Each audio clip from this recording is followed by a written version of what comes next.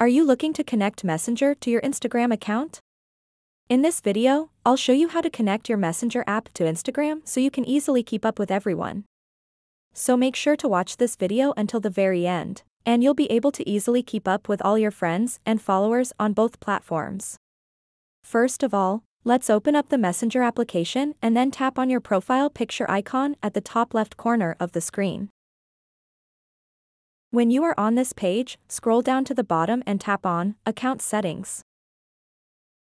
It will load up this page. Once you are on this account settings page, scroll down and tap on Account Center.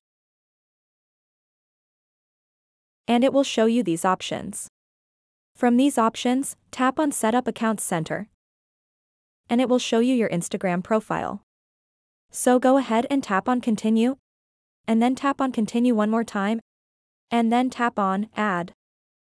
And it will take a couple of seconds to do its thing. And now you have successfully connected Messenger with your Instagram account. So now you can easily chat with anyone on Facebook or Messenger from the Instagram app. So that wraps up this tutorial.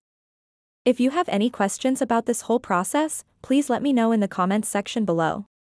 And if this video helped you out, please give it a big thumbs up and subscribe to this channel for more tutorial videos like this one.